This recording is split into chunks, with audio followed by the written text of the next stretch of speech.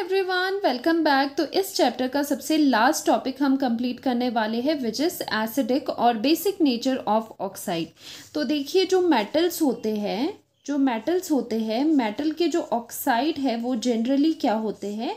Generally वो basic होते हैं, ठीक है? बेसिक ऑक्साइड्स होते हैं, जैसे कि कैल्शियम ऑक्साइड है कैल्शियम मेटल है, उसका ऑक्साइड है, उसे अगर आप वाटर में डालते हो तो बन जाता है कैल्शियम हाइड्रोक्साइड, ठीक है? और इसमें जब आपने लिटमस टेस्ट किया इसका तो इसमें देखा गया कि ये है बेसिक। तो इससे हमें ये पता चलता है कि जो ये कैल्शियम ऑक्साइड है या फिर मेटल ऑक्साइड्स है, वो जनरली क्या होती है? वो बेसिक होती है मेटल की ऑक्साइड्स, ठीक है? वहीं दूसरी ओर जो नॉन मेटल्स हैं, नॉन मेटल्स की जो ऑक्साइड है, वो होती है acidic in nature. Acidic in nature ठीक है? तो मेटल की ऑक्साइड बेसिक और नॉन मेटल्स की ऑक्साइड होती है एसिडिक अब इसे आप इस तरह से देख सकते हो, जैसे नॉन मेटल में आ जाता है carbon is a non metal तो कार्बन का जो ऑक्साइड है विच इज़ कार्बन का ऑक्साइड इज़ कार्बन डाइऑक्साइड उसे जब आप वाटर में डालोगे तो आपके पास मिलेगा carbonic acid H two C O three carbonic acid और ये क्या होता है? ये एसिडिक होता है कार्बोनिक एसिड एसिडिक है। तो इसका मतलब जो कार्बन डाइऑक्साइड है, उसका नेचर क्या है? उसका नेचर है एसिडिक ठीक है? तो ये आपको समझ आ गई बात कि जो मेटल ऑक्साइड्स होते हैं, वो जनरली बेसिक होते हैं और जो नॉन मेटल ऑक्साइड्स है, वो एसिडिक नेचर के होते हैं, ठीक है? एक और चीज़ यहाँ पर बहुत इंपॉर्टेंट है कि जो मेटल ऑक्साइड्स हैं मेटल के जो ऑक्साइड्स हैं, ठीक है? उसमें भी दो कैटेगरीज आती है। First is low oxidation state वाले ऑक्साइड्स ठीक है? और दूसरा है हाई ऑक्सीडेशन स्टेट वाले जो ऑक्साइड्स हो गए, ठीक है? जिसमें जो मेटल है, एक में लो ऑक्सीडेशन स्टेट पे है और दूसरे में जो मेटल है, वो क्या है? वो हाई ऑक्सीडेशन स्टेट में है, ठीक है? तो ऐसे केसेस में क्या होता है? जो मेटल के ऑक्साइड्स जिसमें मेटल लो ऑक्सीडेशन स्टेट पे है, वो होते हैं बेसिक ठीक है जनरली बेसिक ही होते हैं, लेकिन कभी हाई ऑक्सीडेशन स्टेट वाले ऑक्साइड आए तो वो एसिडिक नेचर के बन जाते हैं। वैसे मैंने आपको करवाया है कि जनरली मेटल ऑक्साइड बेसिक होते हैं, लेकिन अगर हाई ऑक्सीडेशन स्टेट के ऑक्साइड आ जाए तो वो क्या होते हैं? वो एसिडिक होते हैं। For example M N two O seven ठीक है, जिसमें मैंगनीज की अगर आप ऑक्सीडेशन स्टेट निकालो यहाँ पर, इसको एक्स मान लेते हैं टू एक्स प्लस सेवन और minus two, seven into minus two, और ये न्यूट्रल है तो ज़ीरो आ जाएगा, ठीक है? तो ये two X equals to seven two ज़ा फोर्टीन हो गया और एक्स की वैल्यू प्लस सेवन होगी। तो यहाँ पर मैंगनीज की जो ऑक्सीडेशन स्टेट है दैट इज़ प्लस सेवन वो काफ़ी हाई है, ठीक है?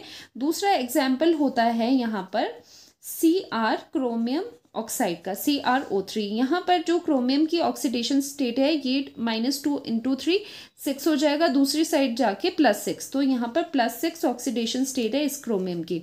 तो ऐसे ऑक्साइड ऐसे मेटल के ऑक्साइड्स जहाँ पर मेटल की ऑक्सीडेशन स्टेट हाई हो, वहाँ पर क्या होते हैं, उन ऑक्साइड्स का नेचर एसिडिक होता है, ठीक है? तो ये दो एग्ज़ाम्पल आपको बिल्कुल ध्यान में रखने हैं।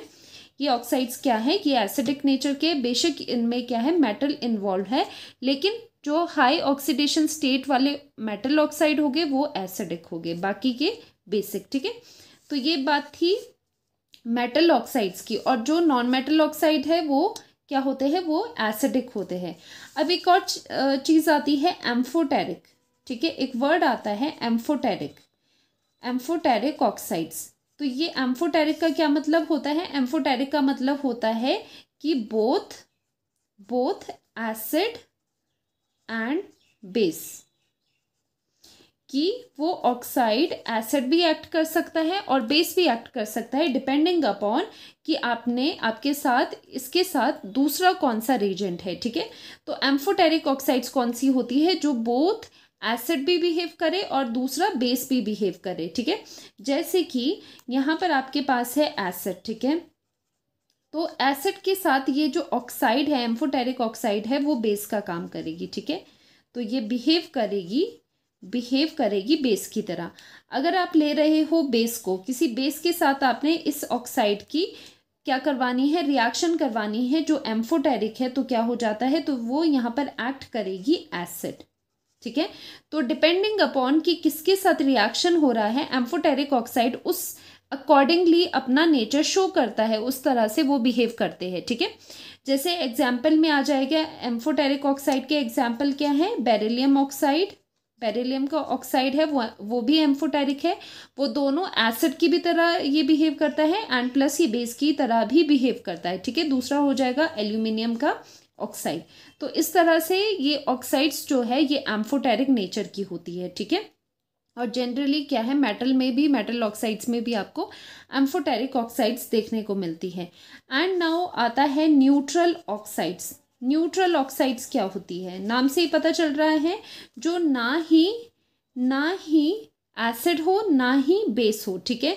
नाइदर एसिडिक नॉर बेसिक ठीक है? तो यहाँ पर कौन कौन से ऑक्साइड आएँगे? कार्बन मोनोऑक्साइड एन ओ आ जाएगा और ये laughing gas N two O आ जाएगा, ठीक है? तो ये तीनों क्या है? ये तीनों ऑक्साइड्स न्यूट्रल ऑक्साइड्स है, ना ही ये एसिडिक है और ना ही ये बेसिक है। तो ये चीज़ें हैं। तो यहाँ पर देखो, हम रिवाइज कर लेते हैं क्या क्या हमने पढ़ा है। Some of the metal oxides are amphoteric जो acid as well as base behave करती है, ठीक है? तो एम्फोटेरिक ऑक्साइड्स के एग्ज़ाम्पल यहाँ पर है। बेरिलियम ऑक्साइड और एल्यूमिनियम ऑक्साइड मैंने आपको बताया है वैसे जिंक ऑक्साइड टिन ऑक्साइड वगैरह, ये एग्ज़ाम्पल है, ठीक है? तो ये एम्फोटेरिक ऑक्साइड है, जो एसिड भी बिहेव करती है बेस भी बिहेव करती है डिपेंडिंग अपॉन किस रीजन के साथ इनकी रिएक्शन हो रही है। वहीं पर जो न्यूट्रल ऑक्साइड होते हैं, वो न्यूट्रल होते हैं, वो ना ही एसिडिक होते हैं, ना ही बेसिक होते हैं, ठीक है? जैसे C O N O N two O ठीक है? अब अगर आप ट्रेंड देखो पीरियोडिक टेबल में तो क्या होता है? लेफ़्ट टू राइट जाने पे एसिडिक करेक्टर इंक्रीज होता है। एसिडिक स्ट्रेंथ इंक्रीज क्यों हो रही है? जब आप लेफ़्ट टू राइट जाते हो तो non metallic character non metallic character बढ़ रहा है और नॉन मेटल के ऑक्साइड्स क्या होते हैं? एसिडिक इसका मतलब लेफ़्ट टू राइट जाने से जो ऑक्साइड्स हैं, उनका क्या हो रहा है? ऑक्साइड का उस, उनका एसिडिक करेक्टर एसिडिक स्ट्रेंथ बढ़ रही है ऑक्साइड्स की, क्योंकि क्या होते हैं? राइट साइड पे नॉन मेटल्स होते हैं और जो नॉन मेटल के ऑक्साइड्स है, वो एसिडिक होते हैं, ठीक है? वेयर एज अगर आप डाउन द ग्रुप जाओगे तो एसिडिक स्ट्रेंथ क्या होती है? डिक्रीज होती है, क्योंकि डाउन द ग्रुप जाने से मेटेलिक करेक्टर बढ़ता है। और जो मेटल्स है, वो जनरली बेसिक है, इस वजह से डाउन द ग्रुप जाने पर आप कह सकते हो बेसिक करेक्टर बढ़ रहा है, लेकिन एसिडिक स्ट्रेंथ जो है वो डिक्रीज हो रही है। तो ये ट्रेंड है।